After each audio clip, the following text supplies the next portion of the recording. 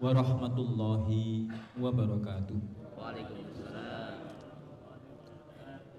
Alhamdulillah alladzi arsala rasulahu bil huda wa dinil haq liyudhhirahu 'ala dini kullih wa kafa billahi syahida asyhadu an la ilaha illallah wahdahu la syarikalah wa asyhadu anna muhammadan abduhu wa rasuluh la nabiyya wa la rasula ba'da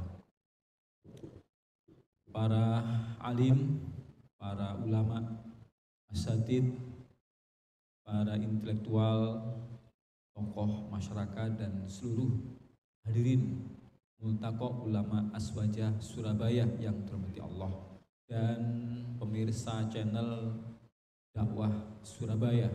Di mana saja berada mudah-mudahan kita senantiasa mendapatkan karunia dari Allah Subhanahu wa taala dan kita senantiasa bersama dalam perjuangan untuk li'ila ikalimatillah hingga kelak bisa bersama-sama di jannah. Amin ya rabbal alamin. Amin.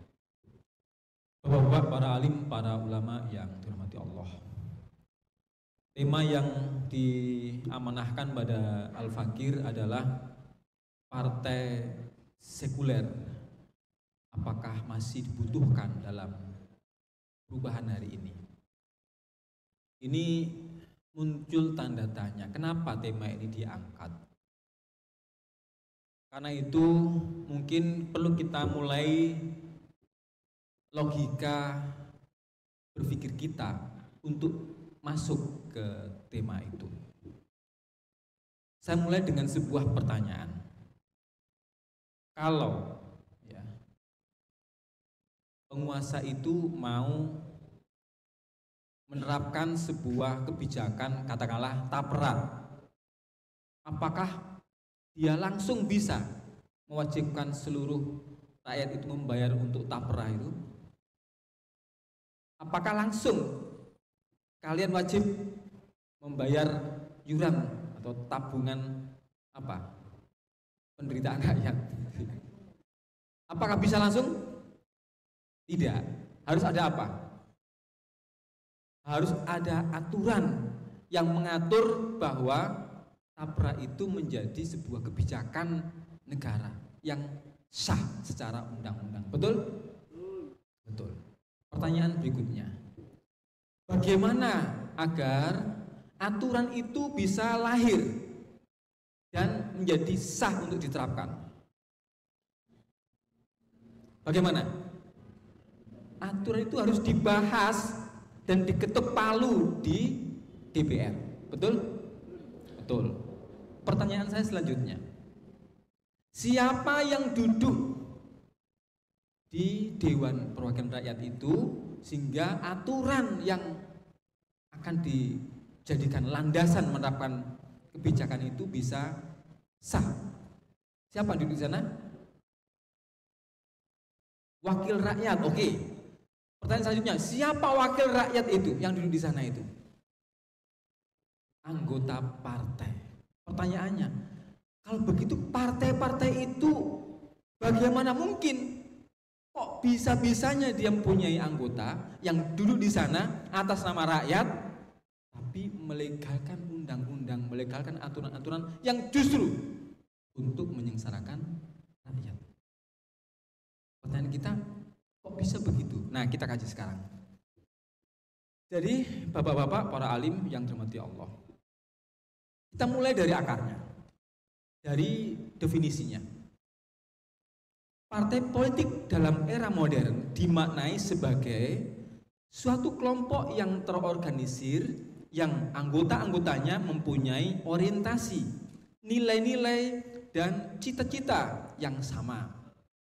Tujuannya adalah untuk memperoleh kekuasaan politik dan merebut kedudukan politik untuk melaksanakan kebijakan-kebijakan mereka. Ini diambil dari buku Dasar-dasar Ilmu Politik karangan Miriam Budiarjo, terbitan Gramedia. Jadi Bapak-bapak, partai politik itu adalah sebuah lembaga di mana dalam lembaga itu ada anggota-anggota yang memiliki pikiran yang sama, kemauan yang sama, tujuan yang sama untuk meraih kekuasaan dan merebut kekuasaan untuk menjalankan tujuannya itu. Jadi definisi ini sangat umum. Sehingga ini sangat bergantung pada ideologi partai itu. Nah, hari ini partai-partai yang ada di sana yang duduk di Dewan Perwakilan Rakyat kata mereka itu yang berideologikan sekuler di mana dia tidak menjadikan aturan Allah, hukum-hukum Islam sebagai misi, sebagai visi bagaimana mengatur urusan rakyat itu mengikuti aturan-aturan Allah Subhanahu wa taala. Bukan itu. Tetapi dia menggunakan sistem yang sangat dikenal yakni sistem demokrasi di mana dalam demokrasi itu esensinya adalah kedaulatan di tangan rakyat.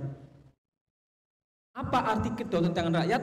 Kedaulatan rakyat, kedaulatan di tangan rakyat itu artinya hak pembuat hukum itu ada di tangan rakyat dalam hal ini adalah wakil rakyat. Sementara kalau hukum itu dibuat oleh manusia, yang manusia itu ada apa pikiran dan ada nafsu, ada kepentingan di sana. Pertanyaan kita, apakah undang-undang yang dibuat oleh manusia itu adalah undang-undang yang sifatnya adil? Tentu. Kalau orang itu punya kepentingan, kalau orang itu punya syahwat politik, maka undang-undang yang akan lahir adalah sesuai dengan apa yang mereka mau.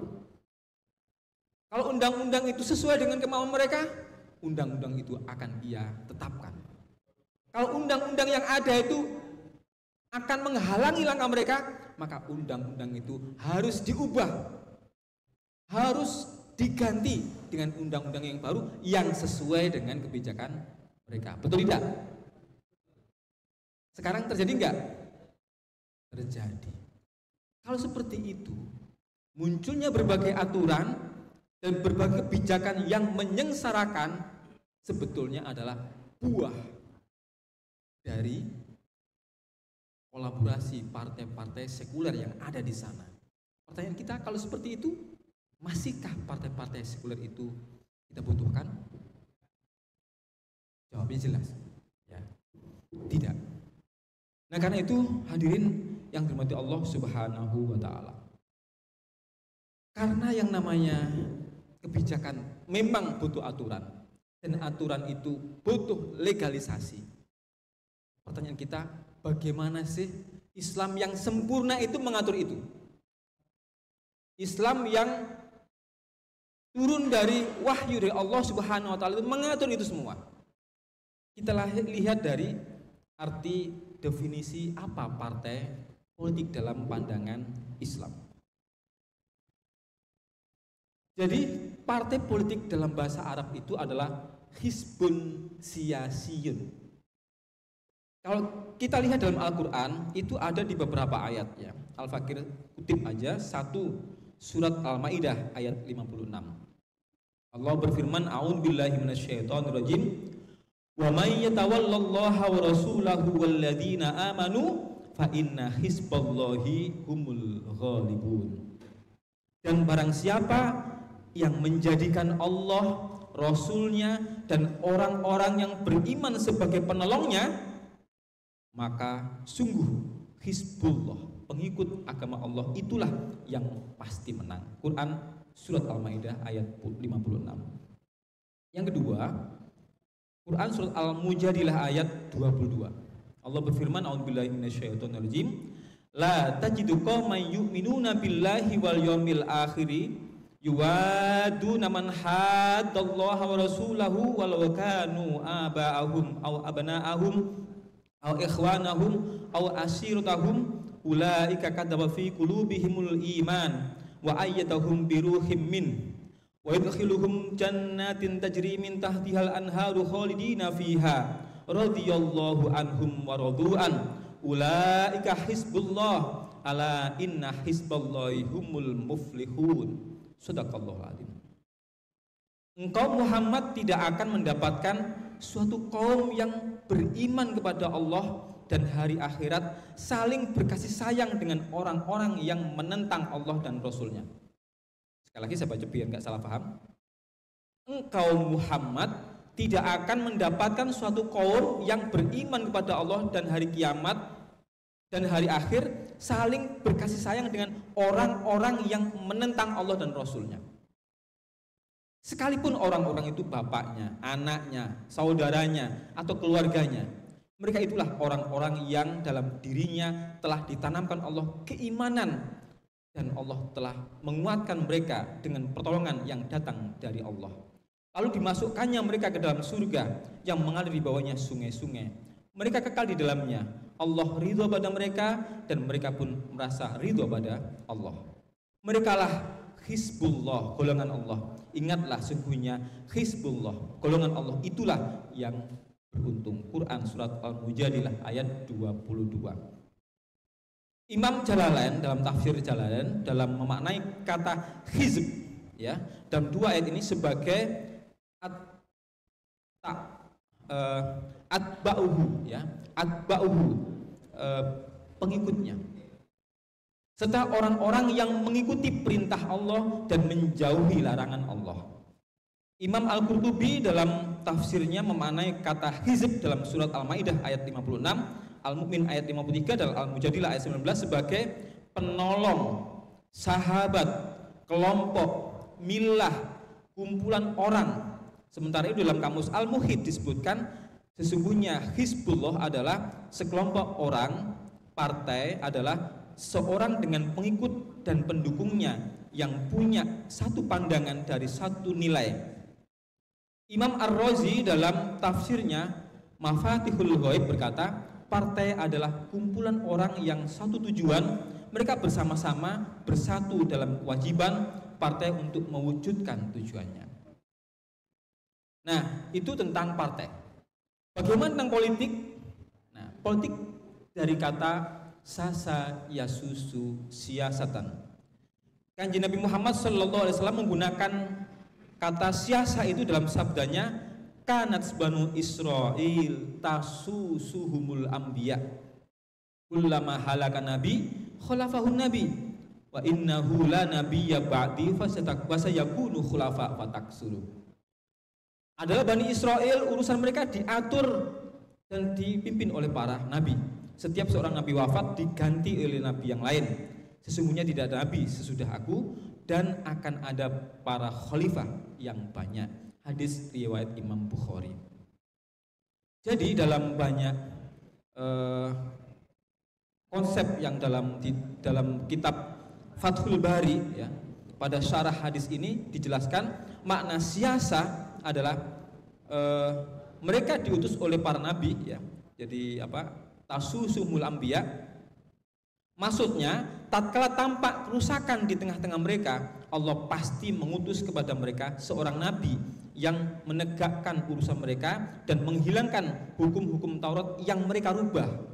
Nah, di dalam di dalamnya juga terdapat isyarat bahwa harus ada orang yang menjalankan urusan di tengah-tengah rakyat yang membawa rakyat melewati jalan kebaikan dan membebaskan orang yang terzolimi dari pihak yang zolim. Ini dalam kitab Fathul Bari.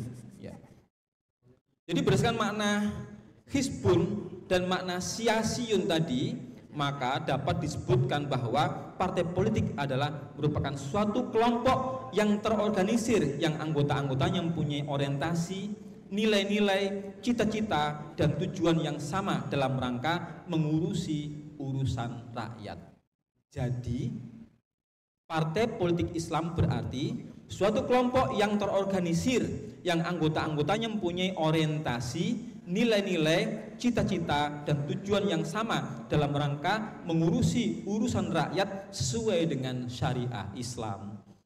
Sehingga para alim, para ulama, para bapak yang dirahmati Allah, kalau sesuai dengan itu, maka kalau kita butuh aturan untuk mengatur urusan rakyat, dan aturan itu memang harus dibawa oleh partai politik, maka pertanyaannya, yang kita akan ikuti partai politik sekuler atau partai politik Islam?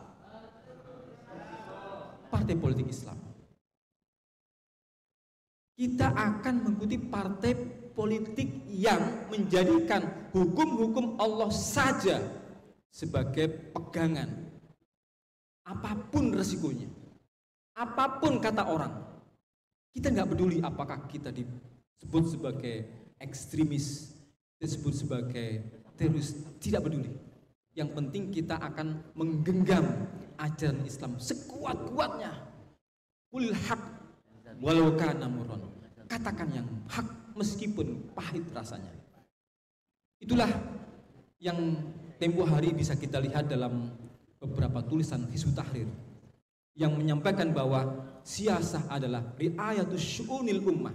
Politik adalah mengurusi urusan umat dengan hukum-hukum Allah Subhanahu wa taala dengan tegaknya daulah khilafah ala minhajin nubuwah marratan saniyah. Mudah-mudahan Allah mentakdirkan kita sebagai bagian dari orang-orang yang memperjuangkan tegaknya kembali hukum-hukum Allah tegak di muka bumi dalam naungan khilafah ala minhajin nubuwah. Takbir.